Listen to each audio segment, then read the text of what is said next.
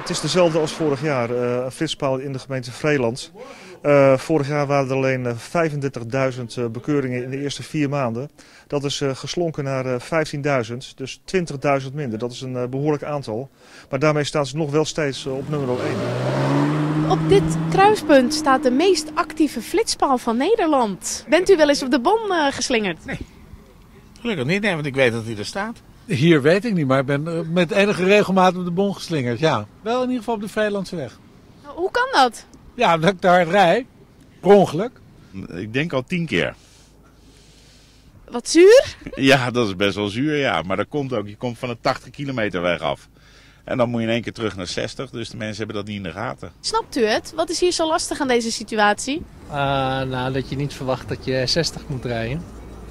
En uh, veel mensen proberen natuurlijk nog het oranje stoplicht te halen. Nee, je staat heel groot, 60. Ja, het is allemaal niet moeilijk hè. En ik begrijp dat er een hoop uh, geflitst wordt. Dus ja, goed voor het dorp. Het is voor ons een stukje rustiger hè, daardoor. Eigenlijk zou dit volgens mij ook gewoon 80 moeten zijn. Het gaat helemaal nergens over.